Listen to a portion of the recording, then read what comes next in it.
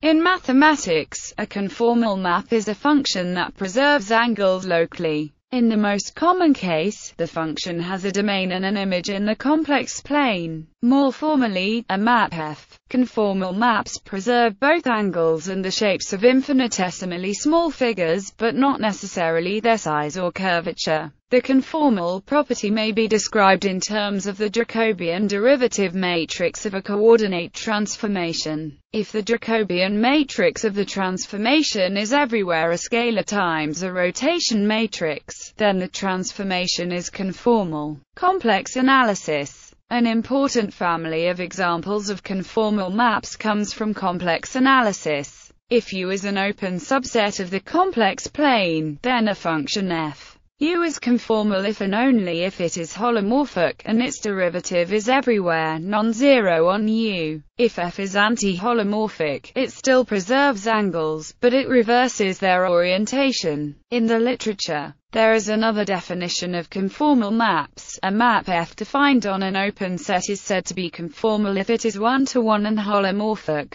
Since a one-to-one -one map defined on a non-empty open set cannot be constant, the open mapping theorem forces the inverse function to be holomorphic. Thus, under this definition, a map is conformal if and only if it is biholomorphic. The two definitions for conformal maps are not equivalent. Being one-to-one -one and holomorphic implies having a non-zero derivative. However, the exponential function is a holomorphic function with a non-zero derivative, but is not one-to-one -one since it is periodic. The Riemann mapping theorem, one of the profound results of complex analysis, states that any non-empty open simply connected proper subset of admits a bijective conformal map to the open unit disk in a map of the extended complex plane onto itself is conformal if and only if it is a Mobius transformation. Again, for the conjugate, angles are preserved but orientation is reversed. An example of the latter is taking the reciprocal of the conjugate, which corresponds to circle inversion with respect to the unit circle. This can also be expressed as taking the reciprocal of the radial coordinate in circular coordinates, keeping the angle the same. See also inversive geometry. Riemannian geometry. In Riemannian geometry, two Riemannian metrics and on smooth manifold are called conformally equivalent if for some positive function on the function is called the conformal factor. A diffeomorphism between two Riemannian manifolds is called a conformal map if the pulled-back metric is conformally equivalent to the original one. For example, stereographic projection of a sphere onto the plane augmented with a point at infinity is a conformal map. One can also define a conformal structure on a smooth manifold as a class of conformally equivalent Riemannian metrics. Higher dimensional Euclidean space. A classical theorem of Joseph Liouville called Liouville's theorem shows the higher dimensions have less varied conformal maps. Any conformal map on a portion of Euclidean space of dimension greater than 2 can be composed from three types of transformation, a homothetic transformation, an isometry, and a special conformal transformation. Thus, the group of conformal transformations in spaces of dimension greater than 2 are much more restricted than the planar case, where the Riemann mapping theorem provides a large group of conformal transformations. Uses for this reason, any function which is defined by a potential can be transformed by a conformal map and still remain governed by a potential. Examples in physics of equations defined by a potential include the electromagnetic field, the gravitational field, and, in fluid dynamics,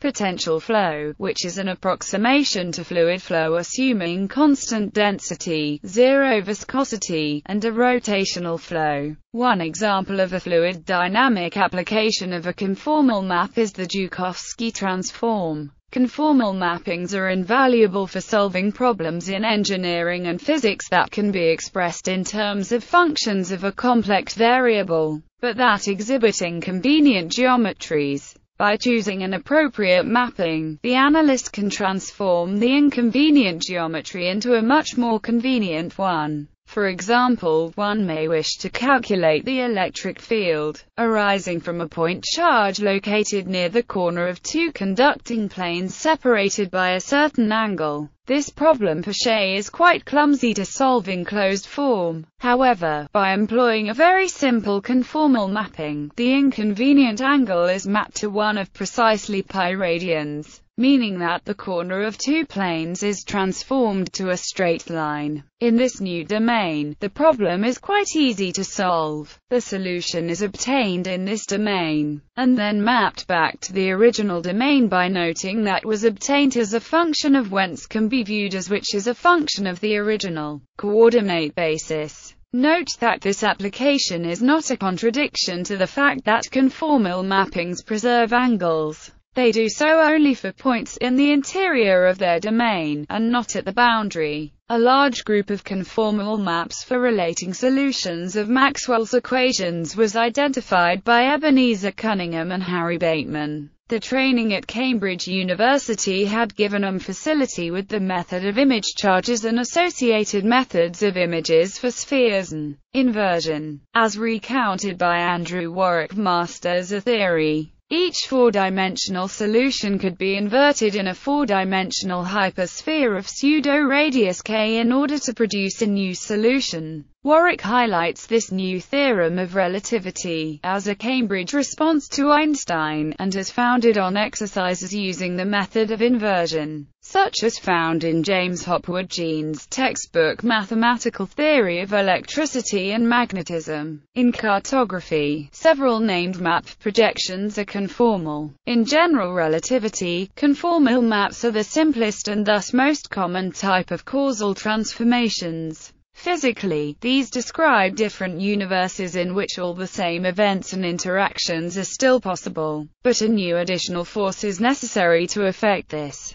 It is often used to try to make models amenable to extension beyond curvature singularities. For example to permit description of the universe even before the Big Bang. Alternative angles. A conformal map is called that because it preserves the shapes of things. The term is based on the Latin prefix com and the Latin noun forma. The presumption often is that the shape being preserved is measured by the standard Euclidean angle, say parameterized in degrees or radians. However, in plane mapping there are two other angles to consider, the hyperbolic angle and the slope, which is the analog of angle for dual numbers. Supposes a mapping of surfaces parameterized by n. The Jacobian matrix of is formed by the four partial derivatives of n with respect to n. If the Jacobian G has a non-zero determinant, then is conformal in the generalized sense, with respect to one of the three angle types